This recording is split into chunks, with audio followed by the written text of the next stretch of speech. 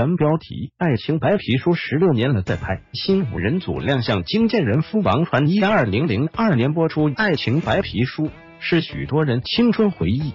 时隔十六年，即将再拍。这次演出毕业后五年故事，演员也重新大洗牌，由张庭湖、王静、宋百伟、谢祥雅、吴月晴主演，更找来王传一饰演女主角王静的上司，相差十八岁，大谈赏幼恋。王传一笑说。不能被老击败。当年由杨丞琳、余文乐、彭文燕、范玮琪及李元博等人演出，掀起纯日系浪漫爱情偶像剧。杨丞琳角色由王静出演，制作人刘伟慈称赞她是非常棒演员，有二十岁纯真那一面，也有很成熟那一面，就是我心目中成美样子。剧中江河上死亡传奇饰演秋婷。张庭湖饰演欧阳挂剧大谈三角恋，他不好意思坦言。我小时有看过《恶魔在身边》，一直都有看一哥的戏。王传一原本不婚，但二零一七年完婚，今七月喜获爱女，小名一宝。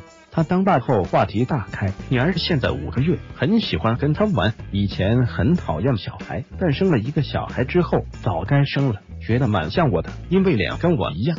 很臭，我是眼睛小，女儿眼睛很大，但只动眼睛不摆头。他更分享，今早带小孩打卡戒苗，量体重已经八公斤，是前段班宝宝，非常肥美。他大笑，别人是第一胎赵书雅，但他们赵舒雅。张庭湖之前演出许多角色都是学生，这次终于毕业了，正式进入职场。但他笑说，出来混都要还。这次演律师都被打，一直挂彩，有时眼角被打。